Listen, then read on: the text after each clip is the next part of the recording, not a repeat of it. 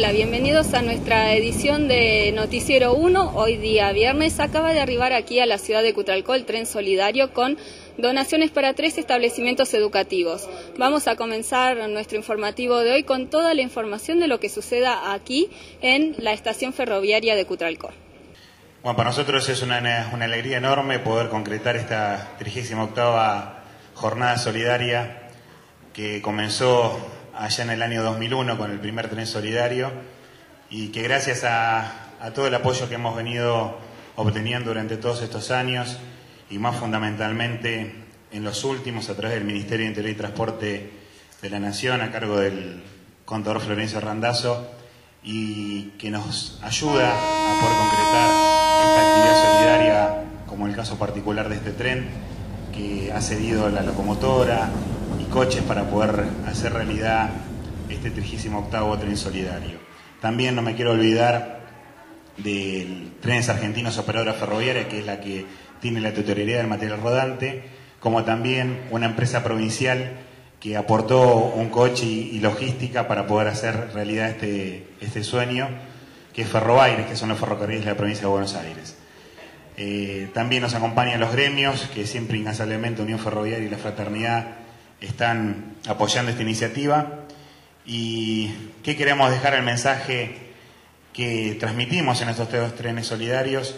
Primero, hacer recordar lo que nos ocurrió a todos los ferroviarios y a todos los pueblos del interior del país en la década del 90 con ese terrible decreto 1168 del 92 por el cual se suprimían los trenes al interior del país y se apagaba un montón de ilusiones y de relaciones entre nosotros los argentinos de esa falta de comunicación como era el ferrocarril. Y hoy que hay una política diferente en la recuperación del sistema ferroviario, todos los que estamos involucrados del ciudadano común, si recuperamos ese tren, tener la valentía luego de no permitir que lo vuelvan a sacar. Nosotros damos este puntapié inicial de demostrar que se puede, tenemos el acompañamiento, gracias a la hospitalidad que nos, recibe acá la gente de Cutralcó con su señor intendente, que obviamente esto reaviva aún más ese sueño de toda la gente de poder contar con el servicio ferroviario que nos una no solo con las localidades vecinas, sino también con, con Buenos Aires para poder hacer trámites o mismo poder usarlo de esparcimiento. Desde mi lugar, solamente agradecer a toda la gente que viene en el tren solidario, son más de 110 pasajeros de distintos puntos del país, gente que vino de Santiago del Estero, gente que vino de Santa Fe, eh, de Mar del Plata, de distintos lugares que se acercan a Buenos Aires para participar del tren solidario donando alimentos o eh, ropa, como también todas las empresas del sector ferroviario y los gremios que hacen posible que las donaciones eh, se puedan juntar y hacer efectiva esta corrida del tren solidario. Para finalizar, muchísimas gracias, gracias señor Intendente. Vamos a seguir luchando con esto y obviamente eh, estoy seguro que usted se va a sumar en esta lucha en la recuperación del sistema ferroviario con este objetivo muy claro como es la necesidad de contar que los pueblos del interior tengan un servicio eficiente, digno, como es el ferrocarril que une a todo nuestro pueblo. Muchísimas gracias. En el peor momento de la Argentina tuvieron creo que la visión que hoy se puede visibilizar eh, de la decisión política de volver el tren a, circular por la República Argentina. Este país, que es un país de, que tiene fronteras y cordilleras de 5.000 kilómetros, de 3.000 kilómetros, que tiene distancias que son tremendas, eh, defender el sistema de transporte público es defender la soberanía del país, ¿sí? es defender el crecimiento del país.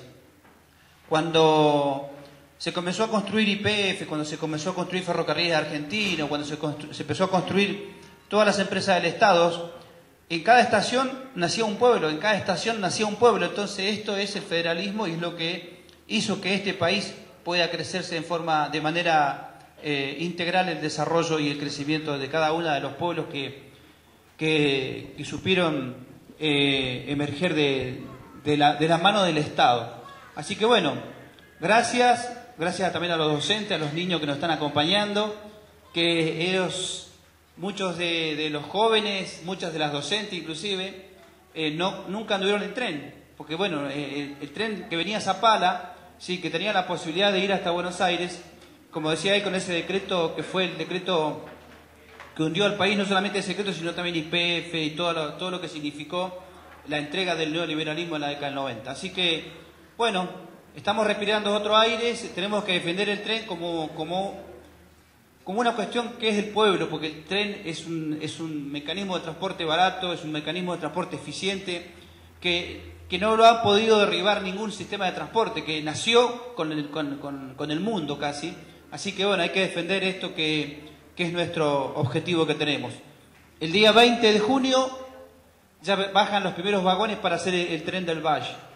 El 21 de julio eh, comienza a circular el primer tren del Valle que va a conectar Neuquén con, con Chipoletti. La segunda etapa va a ser Roca con, con Plotier y esperemos la tercera etapa sea Zapala Neuquén. Así que bueno, muchas gracias, un fuerte aplauso, muchas gracias a todos. Fabiana Quiroz, docente de la Escuela 281, eh, recibiendo esta mañana el tren solidario. Aquí, bueno, contanos un poquito cómo ha sido la experiencia para los chicos y además en qué consistían esas donaciones que ha traído el tren. Sí, bueno, un saludo para toda la audiencia, para toda la comunidad. Estamos aquí con los alumnos de Montermoso y yo creo que antes por ahí de preguntármelo a mí, me gustaría que también se lo pregunten a ellos, porque en realidad es grande la emoción de que el tren vuelva a pasar por el lugar por esa razón, bueno, en algún momento, si ellos pueden, van a, van a contarlo, ¿sí? Bueno, si vos nos autorizás, entonces vamos a conversar con los chicos. ¿Me contás cuál es tu nombre o el tuyo? No sé quién se anima a hablar. Y cuéntenos qué les pareció el tren. Hola, mi nombre es Romina Valenzuela, de la Escuela 81 de Montermoso. Me pareció muy lindo el tren. Y espero que vuelva otra vez a esta Patagonia. ¿Pudieron subir? ¿Lo recorrieron? Sí, lo recorrimos y mm, quisiera decir que si el tren puede venir otra vez, nos pondríamos muy felices. Los escuchamos por ahí que se quedaron con un poquito de ganas de dar una vuelta en tren, ¿no? Sí. Hubiese sido lindo un paseo. Sí. lo que pasa... En realidad eh, la idea era eh, que ellos pudieran llegar con el tren hasta Zapala, pero por razones de tiempo no, no se pudo. De todas maneras, yo creo que no va a faltar oportunidad en que lo puedan hacer. Sí, tengo que considerar que es un medio de transporte que hace falta para la zona. En verdad es más económico, siempre lo fue. Por esa razón, bueno, no estaría mal que pudiéramos contar en la zona de Cutralcó, Wingwood, Zapala, la zona de confluencia, con este medio de transporte. Bueno, y esta actividad, este objetivo principal de entregar donaciones de la gente de ferrocarriles, ¿qué te parece? Me parece una buena idea pero lo que me parece mejor es poder acceder a la participación desde la escuela. Esta salida educativa tiene un sentido mucho más amplio. De pronto, incluir a los, a los niños de la Escuela 281 de Montermoso implica la responsabilidad de socializarlos, de hacerlos parte de una sociedad en donde no estaban muy presentes hasta hace poco tiempo. Hoy por hoy ustedes pueden ver que el grado de participación y de soltura de ellos es distinto y a mí me alegra. Si podemos participar de estas cosas, vamos a poder participar de muchas más. Se han acercado los muchachos, a ver si alguno se anima a contarnos qué les pareció esta experiencia, no sé cuál es el más charlatán. Acá hay uno, me parece. Eh, está muy bueno el tren. ¿Está bueno? Sí. ¿Pudiste subirlo, Sí, sí, le sacamos fotos, subimos todo. Está bueno que pase nueva así para andar. Sí, yo cuando era chico no anduve el tren. Nos ha llegado nuestra producción consultas referidas al lugar de emisión del voto para el próximo domingo. Vamos a decirles que no son, no se respetan las mismas mesas y escuelas que para las elecciones provinciales, así que a estar atentos a esta situación, informarse, pueden consultar los padrones en el Consejo Deliberante, en el municipio, en eh, el registro civil, en el juzgado de paz. Eh, y en otras instituciones donde también está presente el padrón. Vamos ahora así, luego de responder esta consulta que nos formulaban, a continuar con la información. En este caso tiene relación con el deporte, juegos integrados neuquinos, las, etapas locales y zonales se van a llevar a cabo durante los meses de julio y agosto y en las próximas semanas comienzan a inscribir y a recibir los formularios para la presentación de los distintos equipos que van a estar participando. Compartimos todo esto. Nos reunimos un poquito como para tirar adelante y darle pie a lo que van a ser los Juegos Integrados Nauquino, tanto para adultos mayores como para categorías de SU-14, SU-16 y SU-18, ¿no es cierto? Eh, me acompañan Alicia y Pedro, que se van a hacer cargo o, son los referentes fuertes que tenemos en la comunidad de Plaza Winkle con lo que es este, todo lo que es adultos mayores. Eh, las inscripciones, bueno, vamos a arrancar a partir de la semana que viene y este, estaremos desarrollando las etapas locales y zonales en cuanto a adultos mayores en el mes de agosto, si no me equivoco, y este, en cuanto a las categorías sub-14, sub-16 y sub-18, eh, las vamos a llevar adelante a partir del mes que viene. Informar las disciplinas deportivas y culturales. Las disciplinas deportivas son Newcon, Tejo, Sapo, eh, ajedrez y ping-pong. En la primera etapa, la etapa local, está abierta para todos los adultos mayores de Cutralcó y de Plaza. Están todos invitados, esto es abierto, eh, no hay ninguna restricción, solamente en la primera etapa eh, este, mm, que estén bien físicamente, no se les exige en ese momento un, este, certificado, pero eh, tienen que estar en buenas condiciones físicas. La inscripción va a ser en la dirección de deporte, es libre, nosotros vamos a estar todo el día, eh, entonces vamos a ir anotando. Si se puede anotar, también quiero que quede claro, en las cinco disciplinas, ¿eh? no hay ninguna restricción también, tampoco para eso. La idea es que participen. Y después tenemos en la parte cultural, danza, cuento y pintura. Eh, también lleguen a la dirección de deporte, donde le vamos a dar este, todas las condiciones para participar. Pero son más o menos similares al año pasado, no hubo ninguna, no hay ninguna este, restricción. Eh, eso es lo que respecta a los adultos mayores. Este año se va a hacer la etapa local, ya les digo, el 22 de agosto, la etapa local. Y la etapa zonal, va a haber cada representante de cada ciudad, de Cutralcó, de Plaza Winkle y de mm, Ramón Castro. ¿eh? Este, va a estar abierto, como le decía, para todo y bueno, los esperamos en la dirección de deporte para que se anoten eh, con tiempo. Igual todas las actividades se van a llevar, como el año pasado, en el predio de Atardecer Feliz, que lo de Alicia, porque creemos que ahí están las condiciones, hay cancha de tejo, hay sapo, hay ping-pong, hay un lugar para el ajedrez y bueno, en la parte de Newcon se va a hacer en el Club Plaza, agradecer a la gente, de, a, los directores de, Plaza, al presidente y vicepresidente, porque nos ceden de vuelta este año para hacer toda la actividad. en esta actividad de Juegos Integrados Neuquinos, están invitados todos los, este, los centros comunitarios de la localidad, este, los eh, centros de jubilados y también las iglesias, tanto católicas, evangélicas, que puedan participar en estos Juegos Integrados Neuquín. Y bueno, los invito a todos a que puedan participar los adultos de, a partir de los 60 años que estén en estado físico bien, como decía Pedro.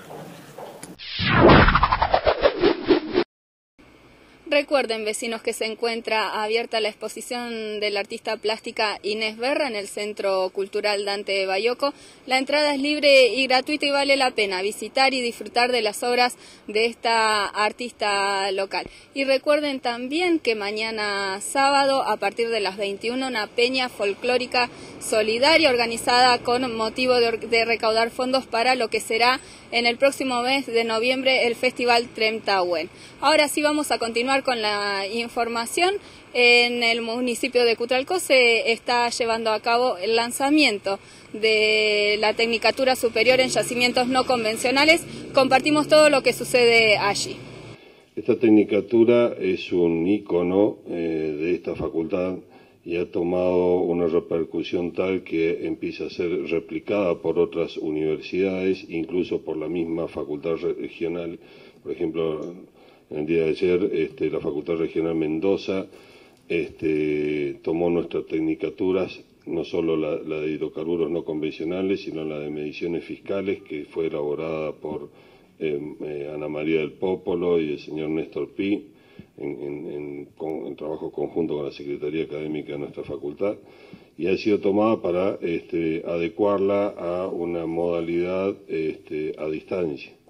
Con lo cual, eh, realmente es un orgullo para nosotros poder ser eh, referentes en materia, en, en, esta materia a nivel nacional, porque realmente esto está repercutiendo este, progresivamente en todo el ámbito de las provincias petroleras.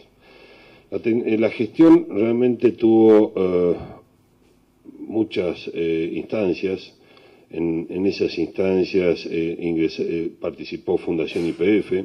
Nosotros inicialmente le planteamos a Fundación IPF la necesidad de financiamiento de este tipo de tecnicaturas, a sabienda de la necesidad puntual que tiene el medio de incorporar personal calificado y, que y siempre con la convicción de que el personal calificado tiene que ser de nuestra región.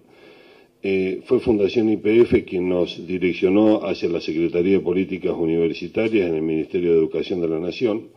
Y ahí fue donde iniciamos todo este proceso que incluyó también a nuestro gran amigo, el señor Intendente de Cutralco, que en algún momento le pedí, mira, este, por favor, este, acercate al Ministerio, eh, ve de hablar con tal persona a ver si este, eh, y manifestarle el interés, porque realmente eh, el Ministerio le interesaba saber si todas las fuerzas vivas de, de la sociedad estaban realmente involucradas en el, en el desarrollo e implementación de este tipo de tecnicaturas y bueno, este, una vez que cumplimentamos eh, todas las, pautas, en este proceso también hubo cambios este, arancelarios y otras cosas, eh, finalmente eh, en la, hace dos o tres semanas ya tomó estado, digamos, se, se, firma el convenio definitivo entre la Universidad Tecnológica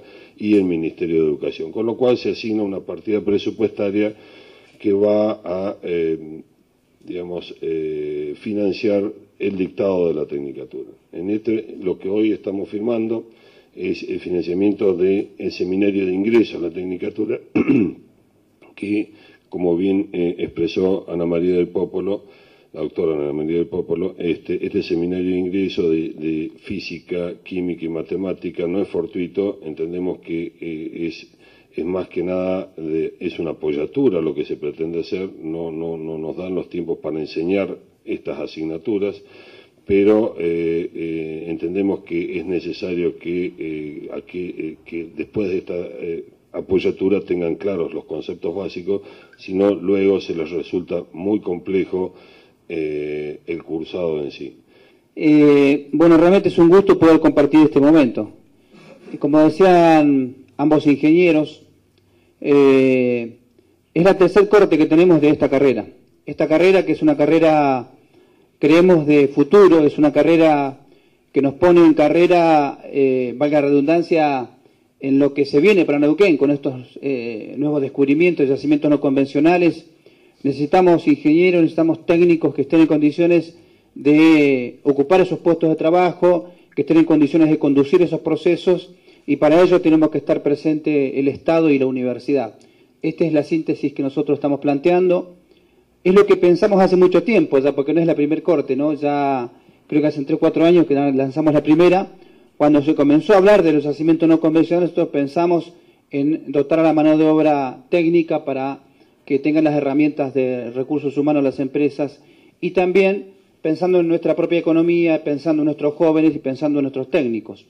Yo creo que es muy importante que esta Corte la financie el Gobierno Nacional. Esto hay que decirlo con todas las letras, que esta Corte va dirigida a los 200 jóvenes que se van a notar seguramente, que van a ser de toda la provincia, que van a ser de Plaza Winkle, que van a ser de Cutralcó, y que tiene que ver con este concepto que nosotros tenemos, que lo único que a nosotros nos va a transformar es la educación.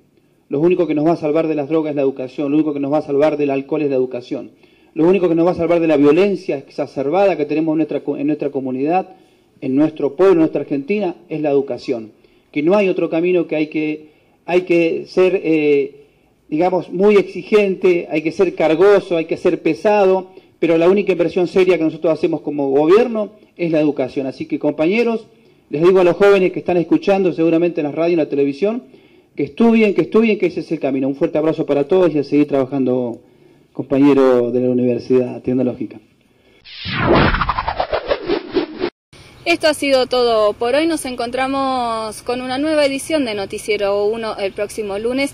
De todos modos, durante todo este fin de semana, la información actualizada se va a encontrar colgada aquí en nuestra página principal de Canal 1.